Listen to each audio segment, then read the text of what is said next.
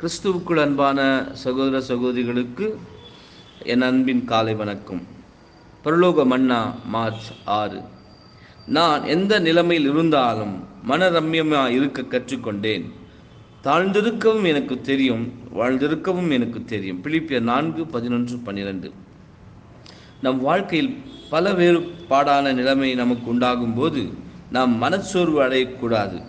நாம் உயர்ந்திருக்கவும் தாழ்ந்திருக்கவும் செழித்திருக்கவும் கஷ்ட நிலையில் ஜீவிக்கவும் அப்போஸ்தலனைப் போல அறிந்திருக்க வேண்டும். இதன் மூலமாகவே நாம் தேவ ராஜ்யத்திற்குள் பிரவேசிக்கும் ஸ்லாகியத்தை பெற தகுதியுள்ளவர்களாகும் நாம் எவ்விதத்திலும் வாழ்ந்திருக்க மட்டுமே கற்றுக்கொண்டு அதிகமான உலக ஆசையை சேர்க்க நம் எண்ணங்களை செவி செவி செவிட செலவிடக்கூடாது.